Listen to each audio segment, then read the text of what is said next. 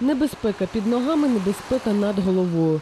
Після весняного снігопаду, що стався у понеділок, харків'яни й досі рухаються містом засніженими тротуарами.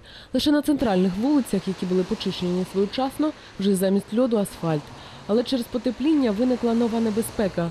На дахах виросли чималі бурульки і нависли барили льоду, які вже почали падати. І ці місця нерідко не обгороджені. Боишься, что-нибудь упадет тебе на голову.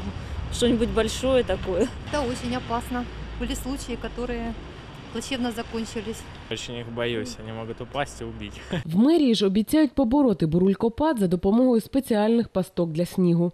Директор комунального ремонтно-будівельного підприємства Євген Пасинов повідомив, що на дахах закріплять спеціальні куточки трампліни довжиною 2,5 метра, які будуть утримувати сніг та не дозволяти йому стрімко сповзати. А за допомогою штучних лабіринтів із таких пасток розподілятися на частини та сходити небезпечно. Щоправда, встановити такі конструкції в цьому році комунальники обіцяють лише на 20-30 будинках, і коли саме не уточнюють. Марина Ніколаєва, Андрій Радіч, агентство телевідення новості.